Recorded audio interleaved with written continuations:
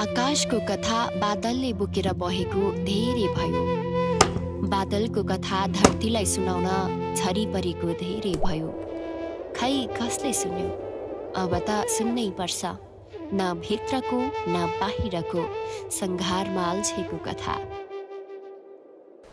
ठप्पै। अब कामै गर्दैन त। फुटेकै त नभन्नु हौ दाजु। छन त दुई दानै छ त। खान्छु बुझिस तेरो क्रिया बाबा जहिले जहिले के घरमा झगडा आउँछ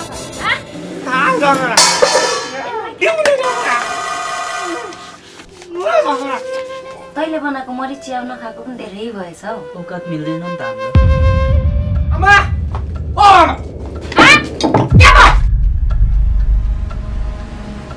पैसा चढेर गाउँ गाउँमा घुम्न थालेको छ आजको भोलि नै यसको बिहे गरिदिनु पर्यो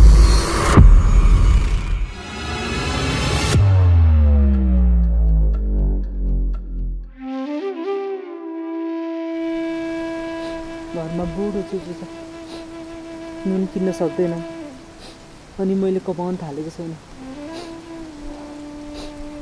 सहर जान्छु गएर भन्दा हटै गर्दैनन्।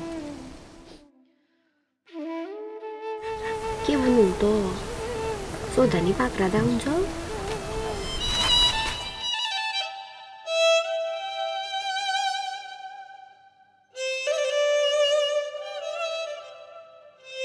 सहर भागम सबै ठिक पर्छ। सहरले पनि खेदे भने?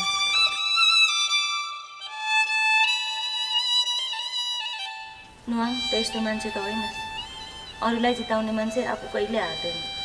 त आफूले आफूलाई किन यति धेरै कमजोर बनाउँदैछस्? तँलाई पैसा चाहिएको? कति चाहियो सुँगुरलाई उही मिठो पैसाको हन्डाले मान्छेलाई भिखारी बनाउँछ। हिँड्छौ के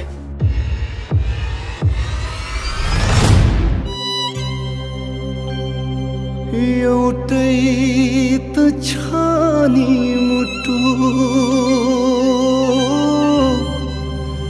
खाइ कति चोटि च्याच्छौ खाइ कति चोटि च्याच्छौ